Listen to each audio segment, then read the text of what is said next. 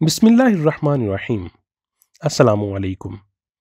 आज हम आप दोस्तों को हज़रत तलहा बिन उबैदुल्ला रज़ी अल्लाह तहों के इस्लाम कबूल करने का वाक़ सुनाएँगे, जो कि अशरा मुबशरा में से हैं और कहा जाता है कि उन्होंने आठवें नंबर पर इस्लाम कबूल किया था। वीडियो शुरू करने से पहले बता दें कि इस वीडियो में दी गई तमाम मालूम के रेफरेंसेस इस वीडियो के आखिर पर देखे जा सकते हैं।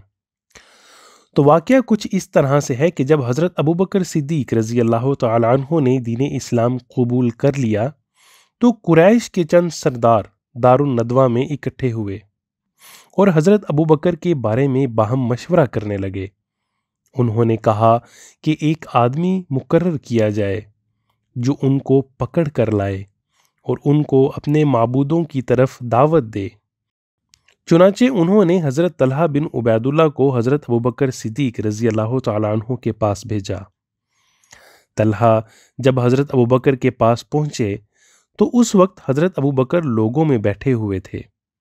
तलहा ने बुलंद आवाज़ से कहा, ए मेरे साथ आओ। हज़रत अबू बकर सिद्दीक रज़ी अल्लाह तहों ने पूछा, तुम मुझे किसकी तरफ़ दावत देते हो? तलहा ने कहा, मैं आपको लातो इज़्ज़ा की तरफ़ दावत देता हूँ।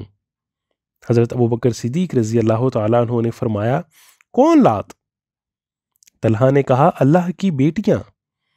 हज़रत अबू बकर रज़ी अल्लाह तहों ने फरमाया तो फिर उनकी माँ कौन सी है? तलहा खामोश हो गए। कोई बात ज़ुबान से नहीं निकाली। हज़रत अबू बकर ने तलहा के साथियों से कहा अपने साथी को जवाब दो।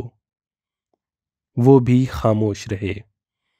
तलहा अपने साथियों की तरफ़ काफ़ी देर तक देखते रहे कि वो भी खामोश हैं।